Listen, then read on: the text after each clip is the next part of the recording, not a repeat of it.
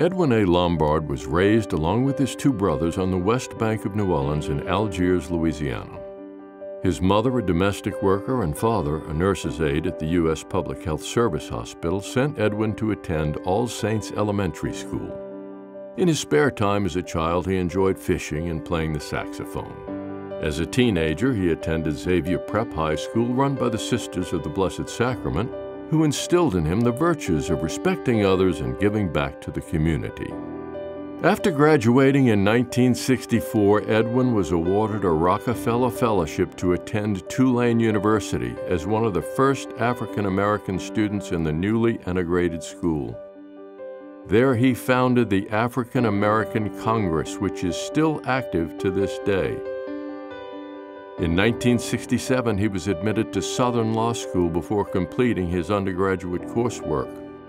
While working towards his law degree, he got involved in several local anti-poverty agencies, including serving as president of the Algiers Fischer Community Organization, where he rallied efforts to build a health and a dental clinic and conducted a highly successful voter registration drive.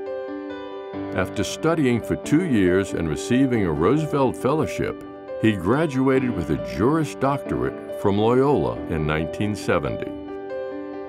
Lombard's career as a public official began when he was elected as clerk of Orleans Parish Criminal District Court in 1973, where he served 29 years until being elected to the Fourth Circuit Court of Appeal in 2002. As an appellate judge, he was chosen to sit ad hoc on the Louisiana Supreme Court in a landmark case on racial misconduct. Later in the devastating wake of Hurricane Katrina, Lombard was appointed judge pro tempore of the Criminal District Court of Orleans Parish to assist in rebuilding the city.